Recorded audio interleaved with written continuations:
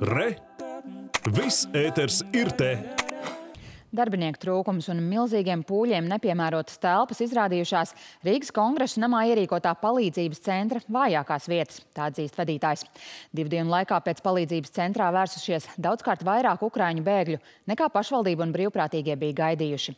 Rīgā apsver iespēju atvērt vēl vienu šādu palīdzības centru un aicina to darīt arī citās pašvaldībās. Stāsta Vita Anstrate. Cilvēku drūzma pie palīdzības centra Rīgas kongresa namā un vēl nav pat pusdienas laiks. Ko man gaidīt, ko darīt, vaicā kāda sieviete. Starp ārā gaidītājiem arī Inna un viņas tuvinieces no Vinnicas. Pagaidām sievietes nakšņo pie radiniekiem Latvijā, bet vēlas nokārtot dokumentus likumīgai palikšanai Latvijā. Vismaz līdz kara beigām. Šodien gan palīdzību viņas vēl nesaņēma. Mēs tikai šodien šurp atnācām, ilgi negaidījām, līdz iznāca kāds puisis, kurš pavisam mierīgi mums izskaidroja situāciju. To, kāpēc tik garas rindas un tik daudz cilvēku. Pirmos apkalpos tos, kuriem patiešām nav kur palikt, kur ir uz ielas ar maziem bērniem. Ja uzņemamo cilvēku skaits netiks ierobežots, tad, protams, mēs gaidīsim. Paldies Dievam, ka šeit nav dzirdama tā trauksme un bērni normāli izguļas. Liels paldies! Nekas traks, ka ir tik gara rinda. Palīdzības centrā atzīst, ka nebija gatavi tik milzīgam cilvēku pieplūdumam.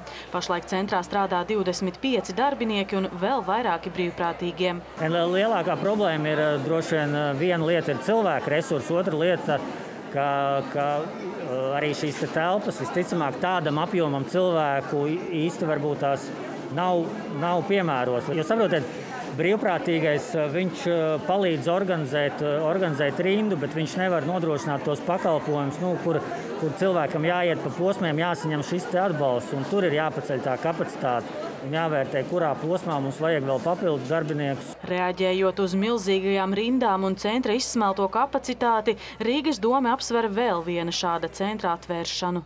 Mēs redzam to, ka arī šobrīd citas pašvaldības sūta uh, Ukraiņu iedzīvotājs uz Rīgu šo centru. Un šodien mums pat ir informācija, ka pat no attālām pilsētām tas notiek. Taču, piedodiet, tam tā nav jābūt. Piedodiet par manu pesimismu, šis tiešām var būt tikai sākums un bēgļu būs vairāk. Tā viena vieta, kur mēs šobrīd apskatām, teorētiski varētu būt šeit pat blakus Rīgas domē, kas ir Rīgas, bijušī Rīgas Tehniskās universitātes ēka vecrīgā.